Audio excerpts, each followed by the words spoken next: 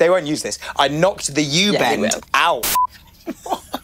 Hang on, who gets dressed to have sex? Big Brother is back. A group of total strangers from all walks of life are essentially going to be locked down together for weeks. What could possibly go wrong? So, to get us in the mood for the new series, we've been asking you to send in your most shocking housemate stories. And I tell you what, remember, Big Brother sees it all. But after reading some of these, I feel like I've already seen too much.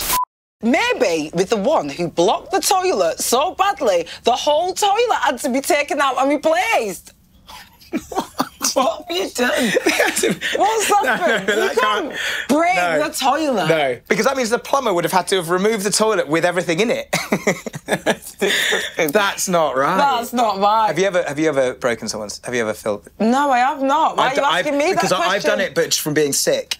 You I was I was so I, I got back from a night out. I, I went to the loo, and then I was sick in the loo, and then I sort of passed out. And I as I fell asleep, this was when I was very young. Yeah. I like knocked. They won't use this. I knocked the U yeah, bend out.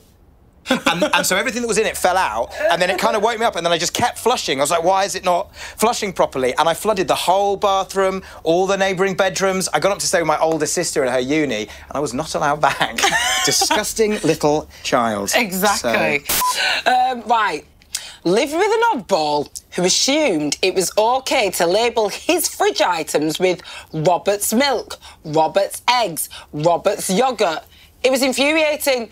Now, let me stop you right Oh, there. Are you a labeler? I'm, I'm on Team Robert. Don't touch my stuff. If if you weren't touching me stuff, I wouldn't need to label it. But your lips are on my milk, drinking directly from the bottle. No wonder I'm having to sellotape it shut. Yeah. I'm Team Robert all the way. Yeah, fair enough.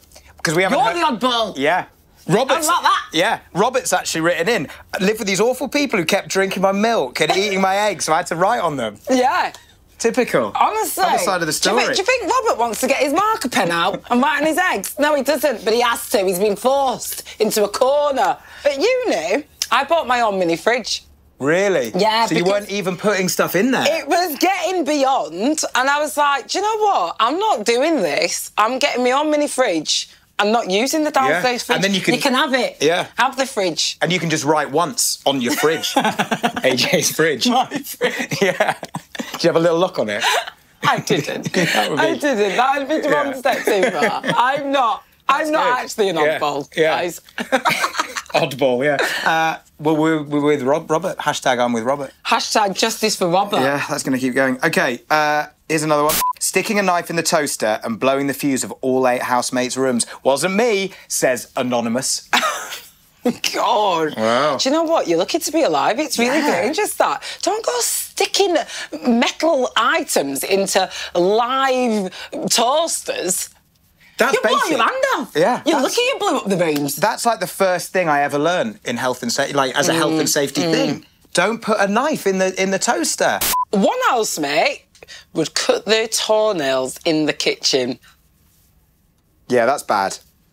That's bad. and do you know bad. what? When you say that's bad, that is bad because you that- do some bad I things. bite my nails, but I don't put do it in the kitchen. I bite my nails and I don't do them in no, the kitchen. no, there you go. Yeah. Yeah, you're a nail biter as well. Yeah, Thank yeah. you. Good. These are plastic, I've stuck Right. them on. Okay, great. Oh, really? Yeah. I thought they were. yeah. they just look so real. So real. no, they do. They do. look- They do look real. Um, uh, I, I used to live with somebody at uni who would bite their toenails.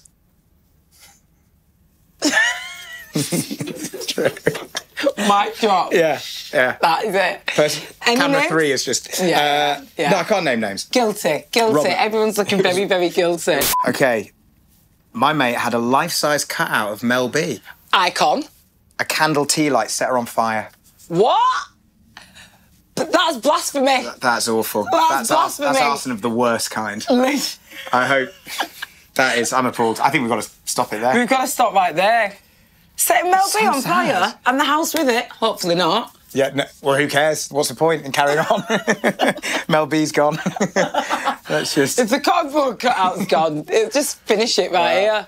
Thank you. Yeah, yeah. Thank you. You, you and your housemate friends are, are worse than anyone possibly imagined. That's great. I genuinely can't imagine being stuck in a house with No. any of those people. No, I mean I've lived with some stinkers, but that was that was another level. Mm. But I just can't wait to find out what this year's Big Brother housemates are like.